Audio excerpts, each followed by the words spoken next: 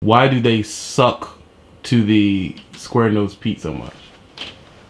To try and elevate their image, it's all image for them. It don't get them nowhere. It don't do nothing for you to drive a truck like that. They make they think it make them look cool.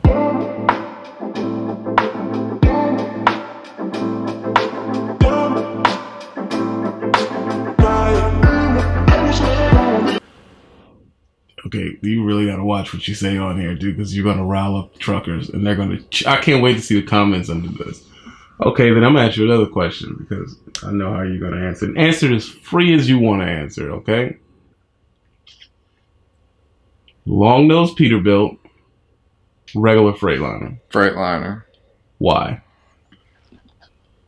Fuel mileage, ease of driving in tight areas, more spacious in the cab, more comfortable.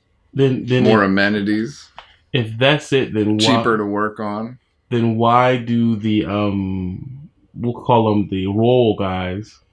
Why do they suck to the square nose Pete so much? To try and elevate their image, it's all image for them. It don't get them nowhere. It don't do nothing for you to drive a truck like that. They make they think it make them look cool. That's the most pathetic thing I've ever heard in my life. Yeah. I mean, some of them, you gotta admit, some of them do look cool. Oh yeah, they're hot as can be, but what's it doing for you? If you were an owner op, would you buy one of them? Not in not in a million years. There's owner. I don't need self validation to make myself feel good. you. I told y'all this is gonna be a fucking awesome interview. you believe that it's self validation? It's something. It isn't business minded. It isn't work related. Have, you have take you, that you take that big flat nose Pete, that big sexy truck, and, and you put the same trailer on the on the Freightliner next to it. They're both pulling up the hill. What do you get out of it? Yeah, but they don't. It doesn't have an 18 speed, 1600 cat motor in that. I've driven 18 speed, 13 speed, 8 LL. I've driven them all. They're all the same. They don't do no different.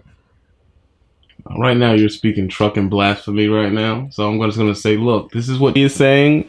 I'm not saying this. It's it's him. This you know, is... them guys want to say, "Oh, I got an 18 speed." Well, you don't even split the bottom gears, anyways. You're running it like a 13. Most of them run it like an eight. True. Nine, whatever you want to call yeah, it. Yeah, because we had we had them in the oil field and and we had them jacked. Uh, they had theirs jacked up too. Yeah, they had all their motors wide open. So we were running 600 plus motors up them hills, and no matter them trucks did run though. Yeah, yeah, no matter. I mean, we used to dirt bag and race them in the in, yeah. in the backwoods. but um, oh, they can't say anything. We don't work for them no more. But um, you know, I, I put one of those on the side. Did you know that? No. I did uh, not all the way. Like it was like a ditch, and uh, I I was dirt bagging it around this corner, and it just slid and hit on the ditch. So it was kind of just like sideways, like this a little bit and I just backed out, and it got its footing. Those things were tanks, man. oh yeah, they go through anything. And it's been on its side so much that if you look on the side, you can't even tell. Right. So, oh my god, dude, I almost pissed myself, man. I was like, dang, I gotta slow down. I, I watched going. a lot of them guys put them on their sides. That one, what was that dude? He's alcoholic. Rick. No, the other one, the short little one. Short, short, short, short. I don't remember. You know, the only name I remember was Rick and the tall homoerotic weirdo that we thought was a serial killer. I don't remember his name. Big dude. Big One stupid. drove the Peterbilt. Yeah, he had a he had a a, a cool ass old school Ford pickup truck. Yeah. That Harley ran. I forget his name, but he creeped me out. I mean, he made me feel like he had people living in his basement chained up. But freaking, um, I'm I tell you who, who who tapped out the most, or who bottomed out the most, or who crashed the most. It was um it was um sand truck drivers. They got right. stuck the most. I watched one just slide right off of the right off of the road. Just one move, none of was moving. It just because of the trailer. All the weight was on the trailer. It was none on the drives. True, true. So you saying he uh he did? Because that one rolled off the hill right next to us.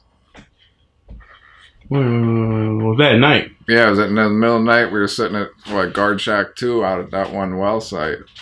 We were there for like four or five hours just sitting there, and that sand can come up alongside of us and flopped over right next to us. rolled right down the hill next to us. That was hilarious. One of the worst decisions I made going local. Really? Yes. Why? I did it too soon. I think going local